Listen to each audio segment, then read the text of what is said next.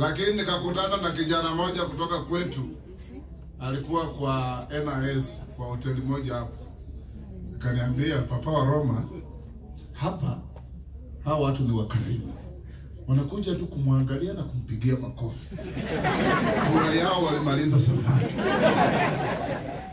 na alipofika mkapiga hivyo.